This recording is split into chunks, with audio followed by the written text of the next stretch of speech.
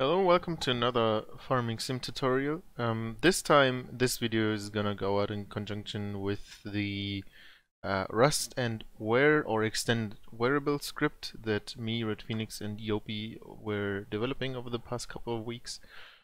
And on this base game, Polymac 300 cultivator, I'm going to show you how to set it up properly. Um, you need a bit of knowledge about Substance Painter and basically what we have here now is uh, more or less um, ready to use specular um, yeah. So just as a recapture um, this is done with the giants template from VertexDezign and I'm not going over how to make a dirt map and wear map. Uh, this is probably gonna come in another tutorial uh, this time in English as well I already made one in German, but I'm gonna do another one in English at some point. So, just as a recapture, we have our um, template set up wear we have a couple of custom channels here, dirt, moss, where color select, and we have our base layer, and we have baked all the maps that we need. So I took the normal and AO out of the old specular map, and also same here, I have the old wear and old dirt that I can just look at how this looks here. So this is the old uh, dirt that came with the cultivator in the base game. And this is the old wear that came with the cultivator from the base game. Um, I'm actually gonna do some stuff on this here just to jazz it up a, a bit because um, the effect isn't really that great. So I'm just gonna go into brushes here. Um, yeah, the dirt one is, is fine. And I'm just going to paint some wear over it. Maybe even a bit off here. Also shows very well how the base game cultivators are made. That they are a bit random at times. Alright, so something like this should be fine. Uh, here's another tine that's missing.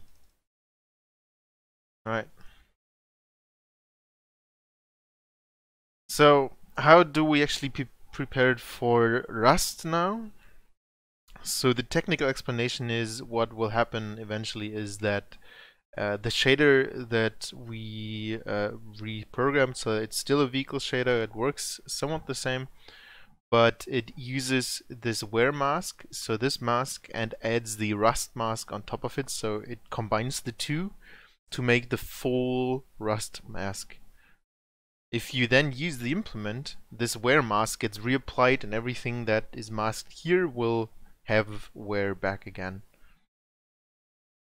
To actually get the rust showing and also get it exported, uh, first of all we go into the texture set settings up here and add another custom channel called user4 and uh, we can just name this rust.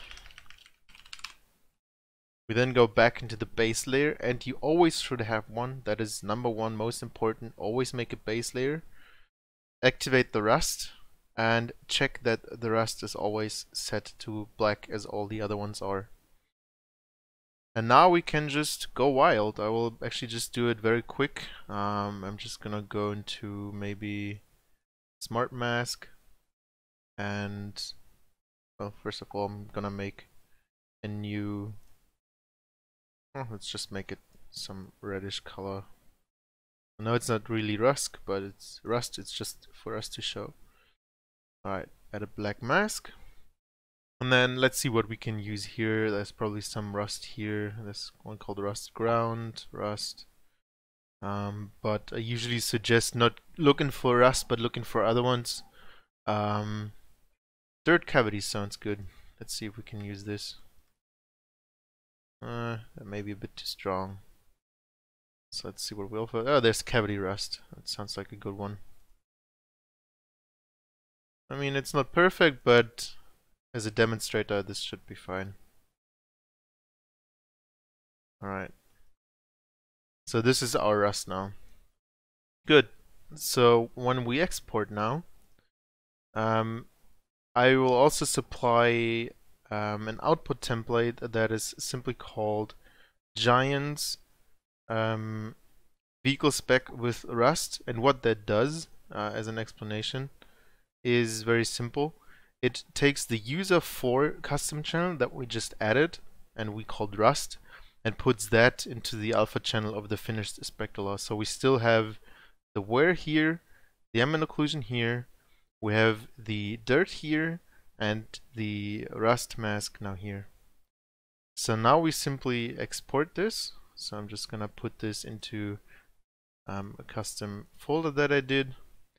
And these kind of textures I always tend to export as a TGA or Targa uh, because while PNG also supports um, opacity, what it does when exporting is it already cuts out the opacity and you have um, an already pre-cut or pre-alpha multiplied texture. So I will show you the two differences.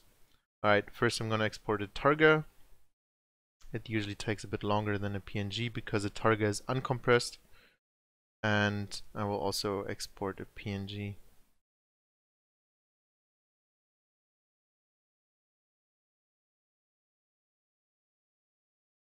Alright, and I just realized this is an issue some people have sometimes is that it's purple, but I'm just gonna open both now so that you can see what is actually going wrong here.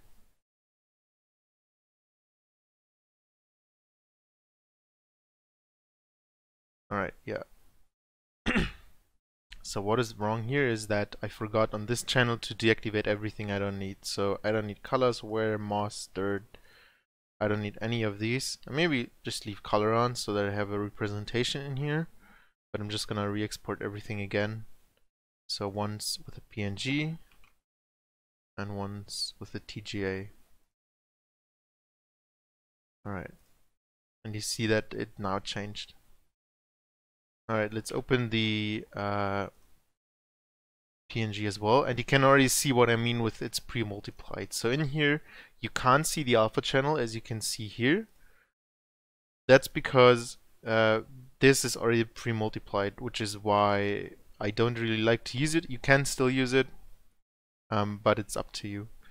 So all we are going to do now is we save this as a DDS. I'm going to use the NVIDIA Texture Tools exporter, um, which I'm going to link also. You will have to make an account with NVIDIA developers, but you don't have to. Uh, you can use other ones like uh, GIMP, for example, or there's also an, an Intel converter in the end it doesn't matter. The only thing that matters here is that you save it as a BC3 because that is um, a standard compression format that supports RGBA which is important for us. Right.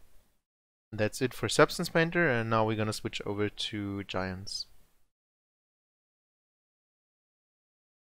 Okay, we're now back in uh, Giants Editor and uh, all we have to do on how to um, yeah get this to work is one thing first of all be sure that you use the custom shader that we supplied and you put it in your mod folder. Um, you will also need the Lua and everything but this is not a tutorial. I'm focused on this is simply how to get the rest done um, for people that understand how to add scripts to a vehicle. Uh, it is works exactly the same and we will also supply uh, one or two uh, mods that already have it set up. So to actually make it work now is uh, in the shader source you are actually going to select our new shader now and in the variation look out for um, specular uh, where is it Specular color specular alpha color mask it's called. Uh, where is it? Color mask, color mask, there is it. Specular alpha color mask. So this is now pretty uh, looking like it's not supposed to do, but that's because we don't have the proper gloss map now plugged in. So we go into our folder and select our DDS. And there we go. Now I'm just gonna quickly bring back the colors that were originally on here. So this is one, this five, and this is zero. If you now scroll down, you have a couple of more options that uh, you can um, change. And I'm going over them in a second. I'm just going to clean up some stuff that can look better at it. Right, so this is uh, the rest now. And how this works is um, rdt.z, which is the third value, is the whole Rust. So everything that's um, yeah, that that's the mask combined is rusting now.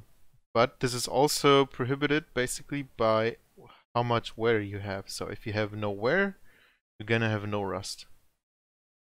If the vehicle is fully rusted and also fully worn out, so if both is 1, then the last value will tell you how much of that is actually gonna get uh, worn again. And this is just the wear mask, uh, as I said earlier. But as you can see up here, there's still gonna be rust on your vehicle, uh, which is why we are using two masks, or rather a combined one and a single standalone one. There's a couple of more things that uh, you can do with this um, with this sh shader. I'm gonna show you in a second. First of all, it starts down here, so you have a Rust UV scale, which is basically how much the texture is going to tile on everything. Uh, I suggest using it between 1 and 3, because uh, you can go up to 6, but that is actually pretty big. So roughly around somewhere here is a good value. The next is something that is called Rust Color. It's already set up pretty straightforward. Um, and it it is basically just color multiplied with a texture so you can play around with this a tiny bit so you can see that you can make it a bit darker or a bit more red and the same goes for green and blue.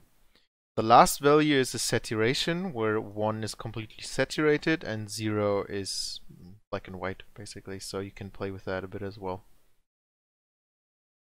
The next uh, line just gonna leave that at 0.75 because I think that's a good value um, the next line is Rust Specular, and that is basically the same as all the others. So the green is the glossiness, so the more towards 1, the more glossy it is. Usually for Rust it's kind of low, so between 0.2 and 0.3. The next is the ambient occlusion, which you don't need to worry about. You can just leave it at uh, 0.6. And the last one is metallic. You also should not worry about this because it's always zero for uh, a non-metallic surface, which rust is. Even though it's a metal, the surface itself is not reflective and thus not a metal. And the last one is something called rust normal strength. Um, and that is nothing more how much you can see the rust normal map uh, supplied down here.